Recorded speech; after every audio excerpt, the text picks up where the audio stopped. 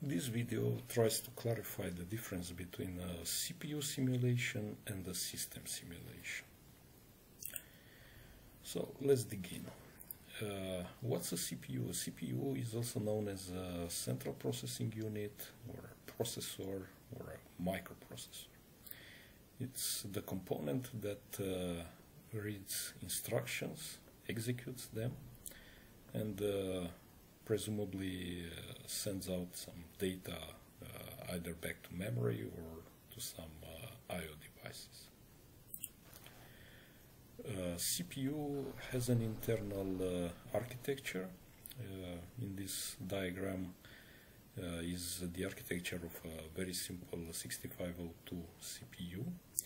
It has a number of registers, program counter, which is another register, an address bus, data bus, and an uh, arithmetic and logical unit.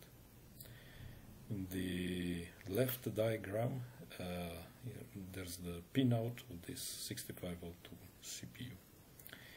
So basically, uh, CPU simulation uh, needs to simulate all those components. Sometimes we speak about the CPU emulation. This is slightly different in that an emulator uh, normally simulates uh, all the electrical signals that are present uh, on the CPU. So, uh, for example, comparing the left diagram with the right diagram, uh, we can see on the left that besides an address bus and a data bus, there are additional signals uh, that an emulator should uh, emulate. Uh, this is an example application of CPU simulator where you can step through a program, execute it instruction by instruction, and you can see how uh, an individual instruction is affecting the internal state of the CPU, the registers.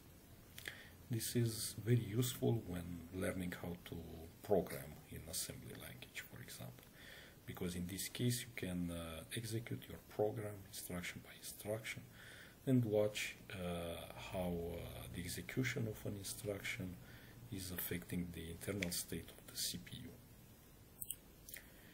Now, what about system simulation? Well, uh, a computer system is uh, comprised of a CPU, but also additional components such as memory, which can be either RAM or ROM, uh, I.O. devices, for example, display, keyboard, communication ports, uh, disks, and so on.